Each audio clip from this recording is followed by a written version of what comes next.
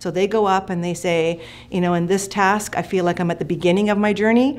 Um, some of them will be developing that they can think that they can do a little bit on their own, but I need a little bit of support. Some are accomplishing, they're like, I got this. And then some are extending, which I think I not only got this, but I could probably teach other people. And then those kids will actually get up and start helping the kids that are at the developing and the beginning. It's more just an acceptance that when you come in here, we've all got something, we all have a struggle, and we all have gifts, and we are going to work together to literally lift the entire classroom up together.